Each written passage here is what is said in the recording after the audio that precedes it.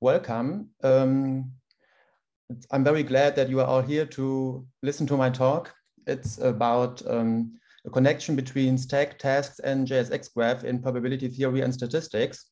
My name is Jonas Lache and I am from Bochum in Germany and I work on a very exciting project um, with the name OER Stochastic NRW and this is part of the German state portal orca.nrw where open educational resources will be uploaded.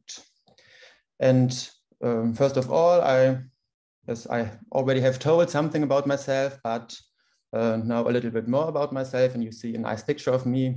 Um, I am a research assistant in mathematics education and I am also a PhD student in mathematics education. And in the past, for example, I produced some stack video tutorials in German and in English. And my field of research is uh, feedback and digital exercises. And I am uh, always very excited to also use the um, great possibilities to use JSXGraph in feedback messages and stack tasks.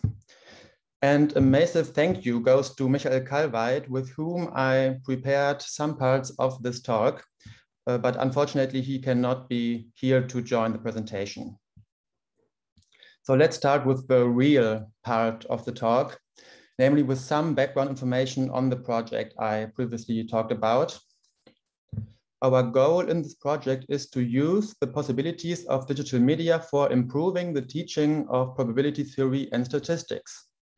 And to reach this goal, we develop some digital materials for use in mathematics courses. And yeah, this can be seen as the core of the project.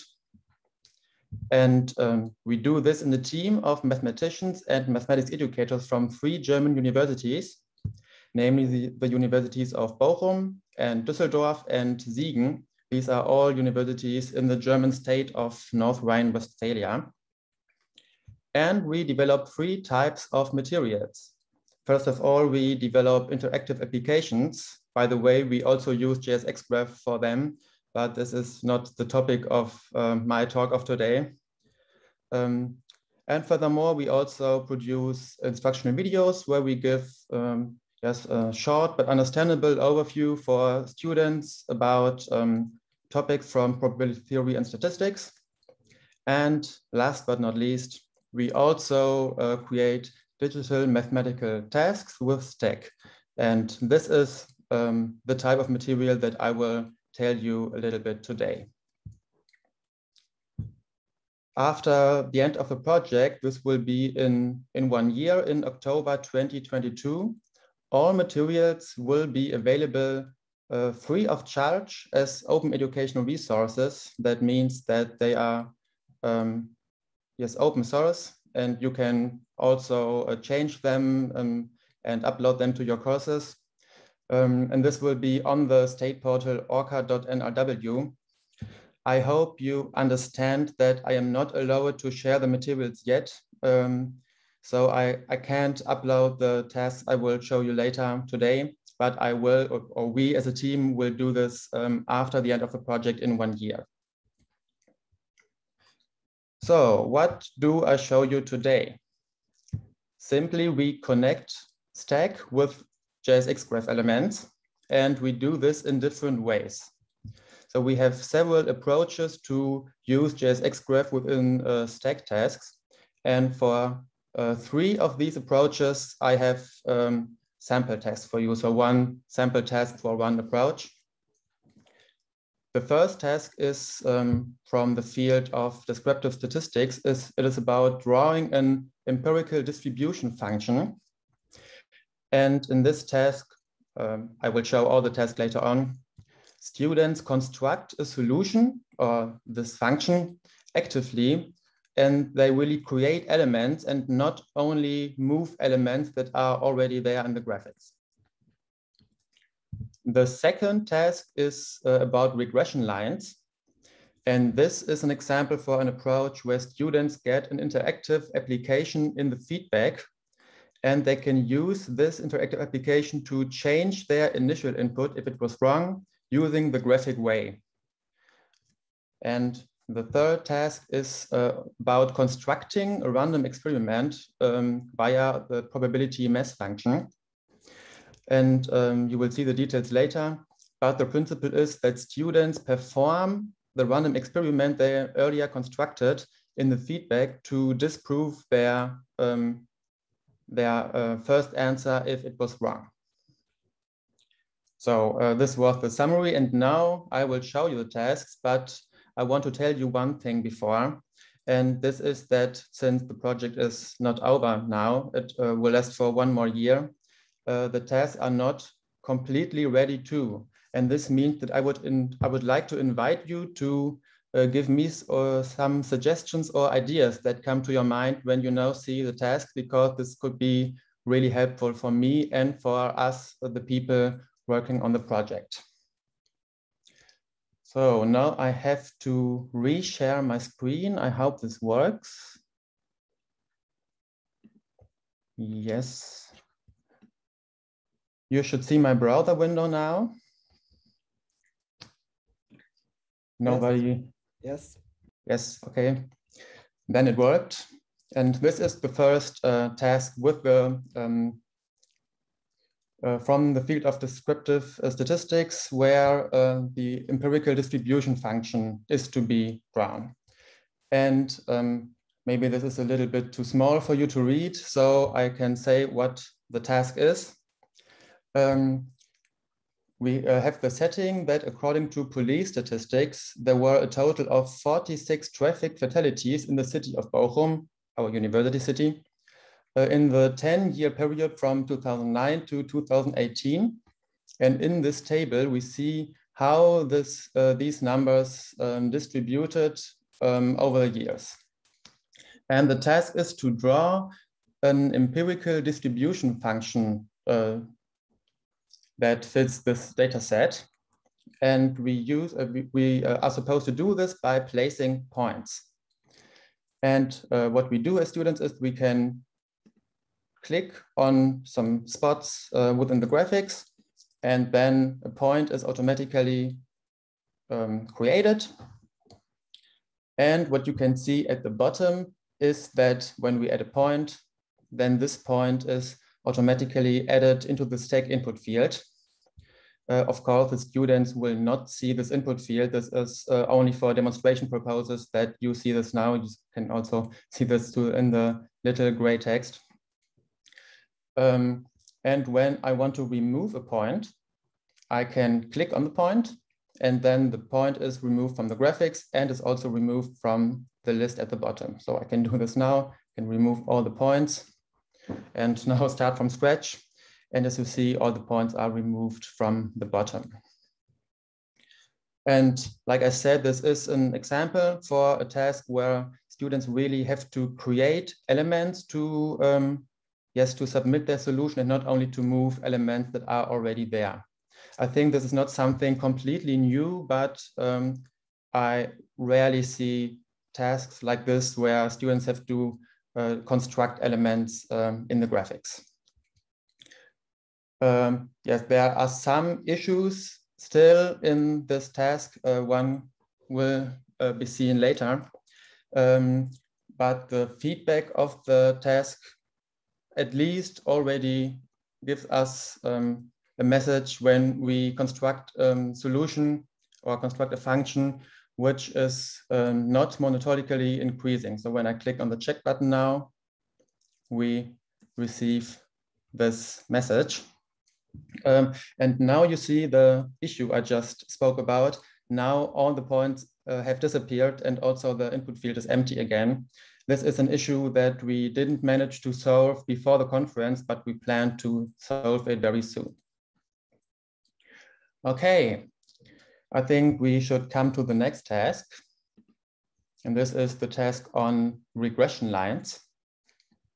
And we, this is somehow a, a, usual question. We have a data set of points and we are asked to specify the regression line by specifying uh, alpha and beta. And um, it doesn't make sense for me to do this now, but I can just guess. Maybe alpha is one half and beta is two. Let's click on check because the interesting part happens now. Okay, what do we see now? Uh, first, we get a verification. I entered the wrong answer. Okay, this is not surprising since I guessed. Um, but then we um, have an explanation about the residual sum of squares as um, a common measure how good of how good a regression model is. And this is not so important now, but I get um, the residual sum of squares of the solution I entered. Mine is very, very bad now. Um, and the residual sum of squares of the best possible regression line is 0.22. And this is um, the best result that can be achieved. And when I now use the interactive application, I can change the parameters of the line. And as you see here, um, the line changes and the current residual sum of squares changes. It is now 7.53. And when I work a little bit, mm, maybe like this, you can see that we can come relatively close to the correct line. And now you have seen that the color of the text changed because we are relatively near to the optimal residual sum of squares. And um, what you have maybe seen at the bottom is that uh, these sliders are binded to these tag input fields that, uh, like the one at the previous task, will not be visible to students. Um, and students can then click on check to submit the new line. Um, since this uh, JSX appears in the potential feedback and not in the question text, we could not use the standard binding logic of stack in JSXGraph. So we had to invent our own binding logic, but this was not very difficult. Um, and when I now click on the check button, we receive a new feedback uh, and the message that our line is now closer to the correct regression, regression line and the out line with the out residual sum of squares is repeated. And uh, our new line is also written here with a new color and with the residual sum of squares. And we also get, uh, this is this part, the difference of our residual sum of squares and the sum of the optimal line. So um, this was the feedback for the second part. And we also received another graphics where we can uh, view and hide all the different components in this graphics.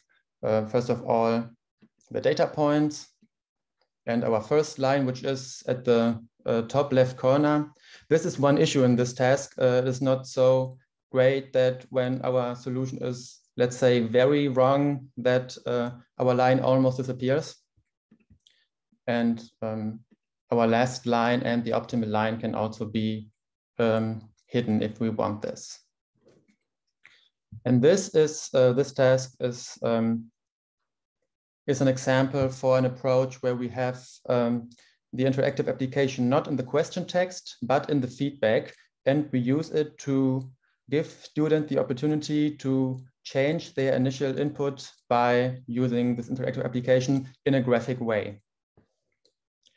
Um, one idea we had to improve this task is um, that the squares are visible when we have the sliders. So not only the dashed lines we had before, yeah, now this it's uh, it's hidden, uh, but maybe you remember that there between the points point and the uh, the first line we specified, we had this dashed lines and it's planned to um, also um, provide students with the opportunity to see the squares that make the residual sum of squares. Okay, uh, let's go to the last question. And um, this is about the construction of a random experiment. Uh, the text starts with let x be a random variable describing the number of eyes rolled when rolling an unfair six-sided dice. And for this dice, uh, we have the requirement that the expected value should be 3.7. So we have an unfair dice with, um, with um, a distribution that we have to specify. Uh, and we have to do this by, by this by specifying um, the values for the probability mass function here. And another requirement is that the expected value should be 3.7 and not more than one of these entries here in the input fields um, must be zero because uh, then it would be too easy.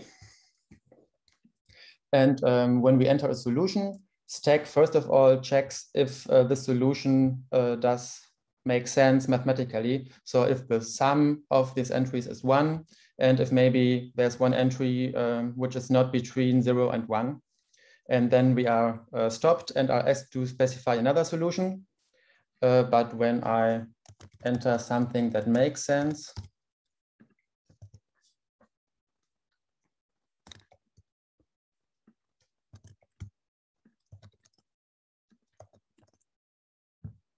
and we click on check.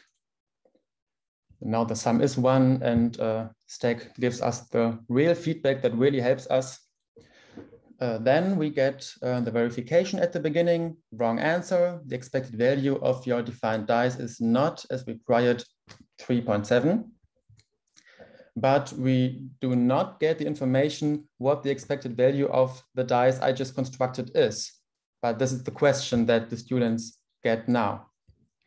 And what I can do now is I can click on this button, roll dice, and then the random, the random experiment with the dice I just constructed is performed.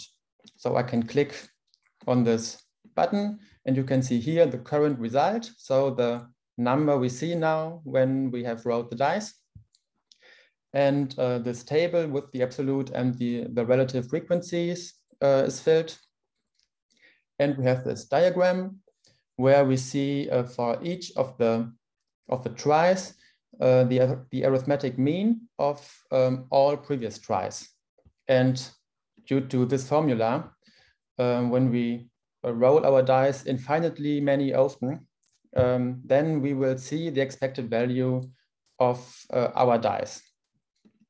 And of course, uh, we of course we would have to roll the dice very, very often to uh, really be sure that this is uh, our expected value, but I can um, view the expected value of 3.7, which was uh, required in the question text. And at least we can see here that this was obviously wrong.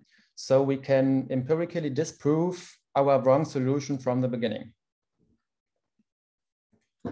And this is the principle of this task that students perform a random experiment in the feedback with um, yes, with a mathematical object they just constructed by themselves.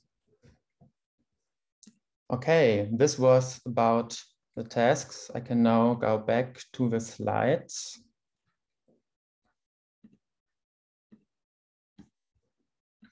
Okay, now you have seen the tasks.